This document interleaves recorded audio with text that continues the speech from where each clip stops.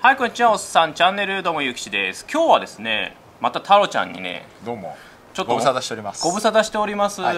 太郎ちゃんにですねもう37歳で独身はやばいんじゃないかっていう 話に、ですね。はい、なってまして。ねこんなひげも生えちゃって。はい。そうですね。そういうことでですねちょっと今日はですねもうあの婚活の達人皆さん仲人さんなんですよね。そうですねはい。しかもだって仲人連盟社長。はい。で達人。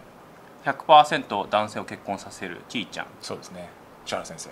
で農業婚活のおいこさん。親子さん。なんかもう交えまして37歳結吉は果たして結婚できるのか、前回ねそんな話もしましたもんね。はい。2020年版、よろしくお願いします。よろしくお願いします。どうですか？僕って結婚できますかね？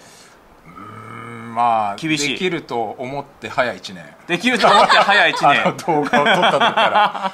早1年、ね。あの時は36歳でしたそうがですね。まあちょっとね YouTuber っていう職種がまだここまで有名になってなかったというか、あ当時はね。確かはい市にそうですね、民権を得ていなかったので確かに。まあ、ちょっとそこが不安材料かなとは思ってたんですけど、僕ねはい、なんか自分の言い訳があるんですよ、はい。い、いですか、はい。あの当時はもう YouTuber といえばヒカキン。うんはじめ社長だったわけじゃないですか、はい。世間のイメージはね、はい。でも今は YouTuber っていうといろんな仕事をしてる人が、真面目な人が出てるってイメージも結構出てると思うんですよ、どうですか？そうなのでその YouTuber はねイメージが多分1年間でだいぶ変わったと思うんですよ、結吉は変わってないけど 変わったけど YouTuber の方が変わったって変わったけど、はい。じゃあ実際結婚したかというとはい。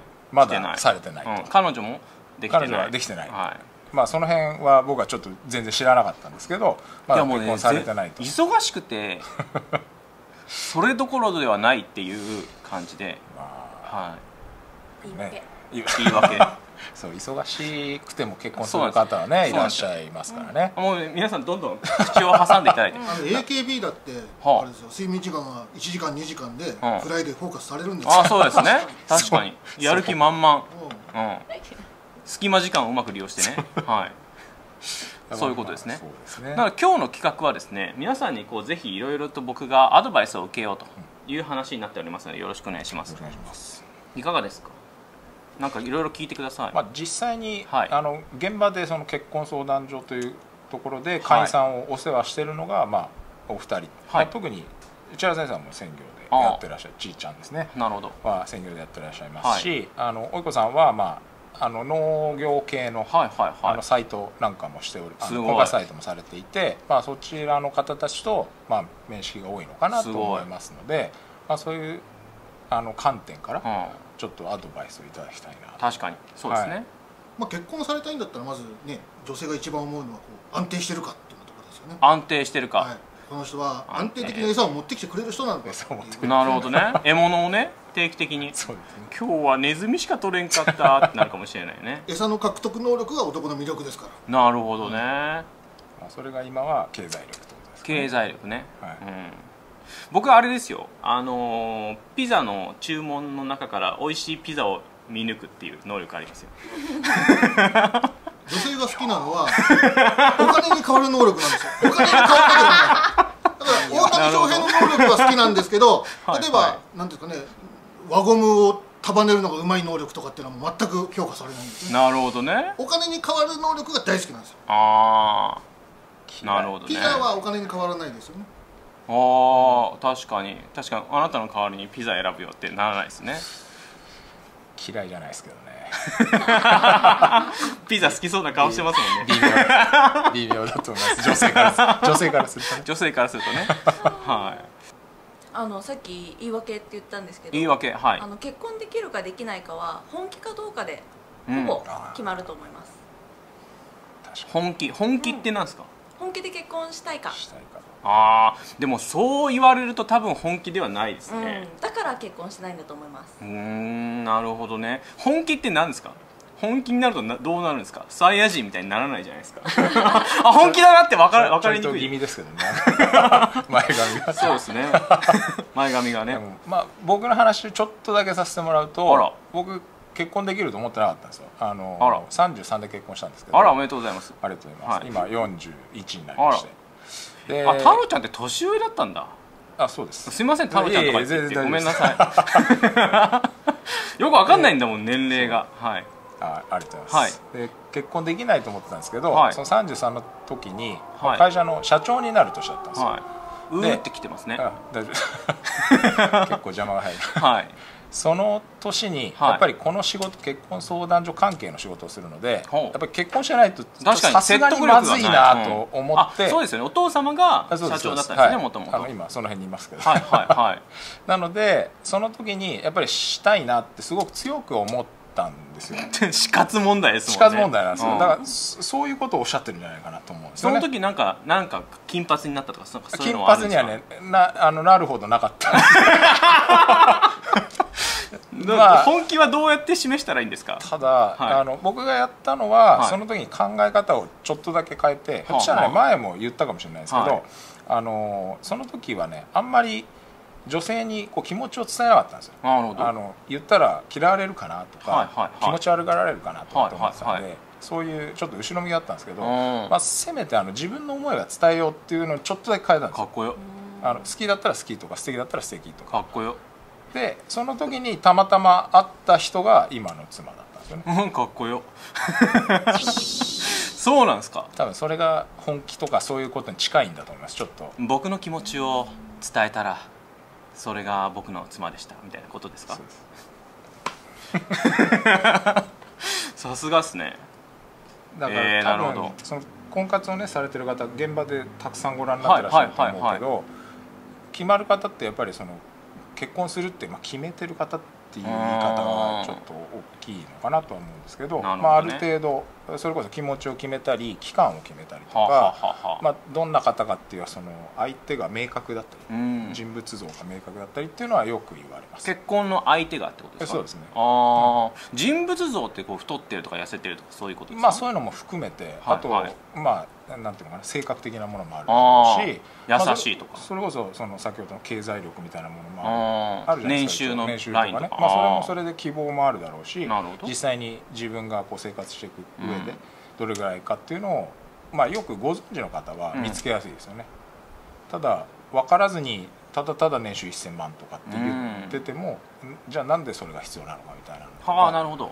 分かってないと結局なんかこう曖昧というか具体的じゃないってことですね。まあでもそういう言い方をすれば僕なんてゼロですよ。相手のイメージ。何にもイメージがないですもん。だから多分そこを言ってるんだと。ですよね。2人はね。あー。なんかね僕おさんチャンネルでよく生放送をするんですよ。で生放送してフリートークをしてるともうかなりの量が「結城さんはどういう女性が好みなんですか?」うんこういうどれぐらいの年齢の方が好みなんですか、はいみたいなのはすごい来るんですよコメントで。みんなそういう下世話の話が好きで。ね。であのそういったところにですね僕もいろいろ答えるんですけど正直な話特にないんですよ。なんか例えば付き合うんだったらどういう人がいいみたいなのも、なんか好きになった人がやっぱり好みみたいなとこあるじゃないですか、まだ大学生みたいなの引きずってるんで。そういうのじゃダメだってことですねつまりもしそれだったら多分、はい。その数を増やすその施工回数を増やすっていうんですかね。ああなるほど。会う数を増やさないとそのあーぼやっと会った人が見つからないと思うんではいはい。はいはいあーなるほど。どっちかなんじゃないかなと思うドローの回数を増やすわけですね。そうですね。あーでなるほど残念ながら結城さんこじらしちゃってるんですよもう年齢的にすごい。そ僕はそれが聞きたかった。神が。神が。なんかもうこじらしちゃってるんですから、はいもうこじらした人を結婚するのはね誰でもいいから結婚するんです。あ誰でもいいんーです。あまあ確かに。でもね確かに誰でもいいっちゃ誰でもいいですね。仕事がない人がうん。仕事、何でもいいから仕事する。でもね誰でもいいから仕事するっつって誰でもよくないんですよ。結局人間は。そんなに強くないんですよ、ん。結局誰でもいいかなと思って行動した時に巡り合うんですよ、ああそれが相手なんですよ。なるほど、ね、最初からもうどんいろいろいろいろ頭でっかちになっちゃって考えるよりもう誰でもいいから結婚するんだと俺は、あなたでもあなたでもいいと。あであなたでもあなたでも付き合ってその中でいい人と結婚するんです。よなるほどもねうすでにこじらしてますから、襟好みをすんなと。はい。まあでもこれこじらしてるのはねめっちゃ自覚してる。仕事もほら選ぶともうできなくなっちゃうじゃないですか。僕はこういう仕そうですね。事しかダメだとかってなると。そうですね。でももう俺はもう仕事するんだと。もうその仕事を何でもいいからくれって言ってるうちにうーん。なんか転職に巡り合うってことですよね。なるほどね。とりあえずやってみろと。うん。もう最悪結婚して嫌だったら別れりゃいいんですようん。その通りだ刑務所じゃないんだから出てこれるんですか 刑務所に近いものではあるらしい。中にはね中にはそういう人もいます。そうか。愛の檻にとれとらわれて。そうですね、はい。それがね。いやでもそういう話ですよね。わかりますわかります。僕37歳なんですけどやっぱりもう結構こじらせてますよね。こじらしてますね。1819の子と違っていろんなものが見えちゃうんですよ見えちゃう、はい。そう見えれば見えるほど結婚ってしにくくなるんですよ。ああなるほど、相手のここが欠けてるあそこが欠けてるって分かるじゃないですか。うん。そこをこう自分に都合よく考え出すんですね人間は。どうしても。なるほど。だそれをもうあのそういうふうに思った時点でもうこじらしちゃってるんです。なるほどね。おっさんになればなるほどどんどん自分が欠けていってんのにね。相手が欠けてるとこが見ちゃうんですね。業が深い多分自分が欠けてるって分かってるからはい。相手のも見えちゃうんじゃないですか。相手の賭けが見えてくる。なるほどね。ひび割れた人生ですね。なるほどね。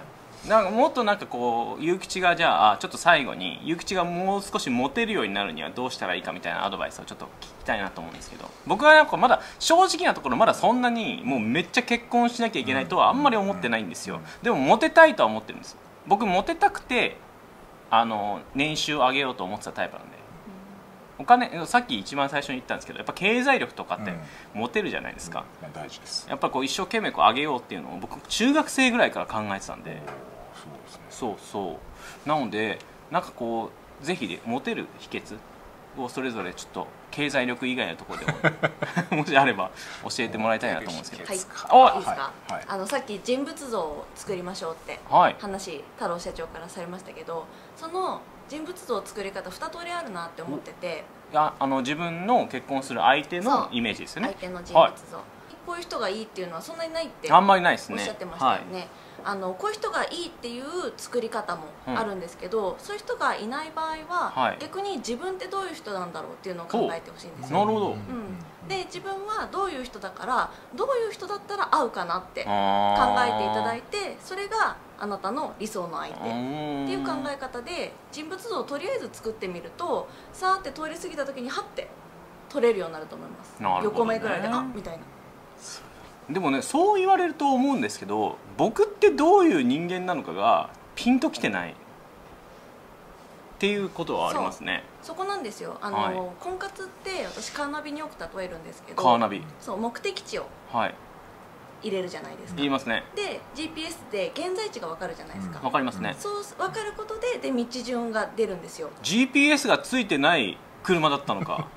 ダメなナビですねそうだから自分の立ち位置が分かってないと、確かに。結局道順もなるほどね。あの示すことができないんですよ。なるほどね、うん。ずーっと目的地ばっかり示すナビになっちゃうわけだそうたどり着けない。つら それいい例えですね。そうなんですよ、で、はいはい。あの走ればはい。どこかにはたどり着けると思うんですけど、確かに。それが思っていたのと違ったりとか、あとはもしかしたらたどりすごい理想のうんところにたどり着けるかもしれないけどものすごく時間かかっちゃうかもしれない。確かにそうですね。そうっていうのをちゃんとあの設定するのが仲人の仕事です。なるほど。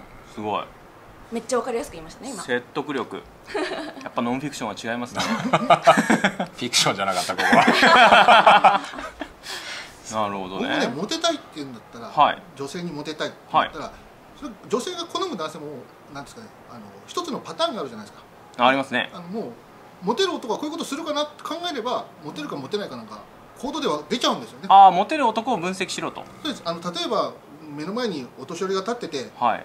モテる男は席譲るだろうって。あ譲りますよね。その譲る譲る。もうモテる男がすることですよね。モテる男は割り込みもしないし席は譲るし人には丁寧に接するし。ああマナーね。そうです。はいはい。でなんかあの時にはなんかねあのかっこいいこと言ったり。はいはいはい。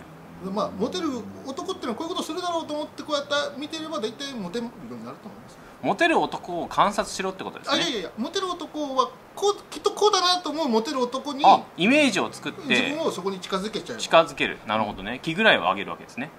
うん。なるほどね。モテない人ってなんかそういう他人の目を気にしなくなるとどんどんああ確かにそうですね。人から見てこれモテるぞっていうことをやっちゃえばモテるんですよね。あの男性と女性ってそんなになんですかねあの奥底まで分かり合った上で付き合わないですから。表面的なこの人かっこいいなとかこの人素敵だなと思うレベルでスタートしますから。だかあららそこの部分までこう一番根っこの部分までかっこよくなってやろうと思ったらもう時間かかりますから。あら。上辺だけかっこよくつければモテますう一番最初はですよ、ん上辺。でも上辺が大事ですね。上は大事。と思いますね。僕は実践上、はい。まあ、役に立つことぐらいかな。あらあら例えば就職先紹介してあげたりとか。本当に実践上多分そういうことをするとあのなんだろうこう好意を持ってくれる可能性が極めて高いかなと。ああ役に立つことをしてあげる。